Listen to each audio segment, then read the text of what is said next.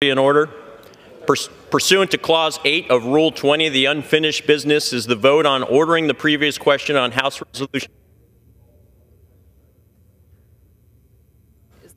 is on adoption of House Resolution 1160, on which the yeas and nays are ordered. The clerk will report the title of the resolution. House Calendar Number 72, House Resolution 1160, providing for consideration of the bill H.R. 8034, making emergency supplemental appropriations to respond to the situation in Israel and for related expenses for the fiscal year ending September 30th, 2024, and for other purposes, providing for consideration of the bill H.R. 8035, making emergency supplemental appropriations to respond to the situation in Ukraine and for related expenses for the fiscal year ending September 30th, 2024, and for other purposes, providing for consideration of the bill H.R. 8036, making emergency supplemental appropriations for assistance for the Indo-Pacific region and for related, related expenses for the fiscal year ending September 30th, 2024, and for other purposes, providing for consideration of the bill H.R. 8038 to authorize the President to impose certain sanctions with respect to Russia and Iran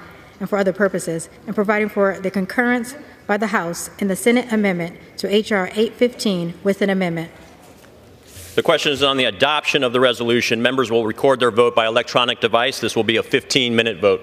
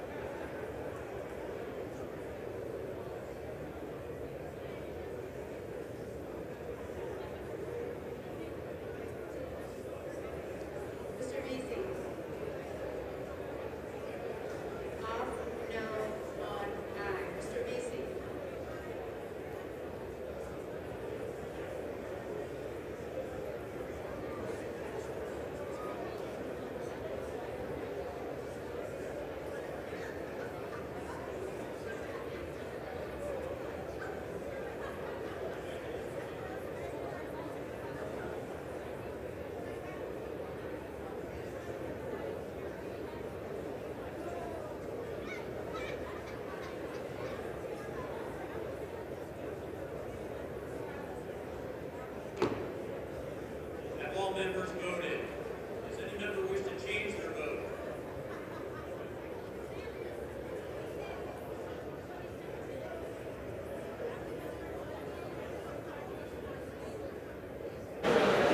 On this vote, the yeas are 311 and the nays are 93.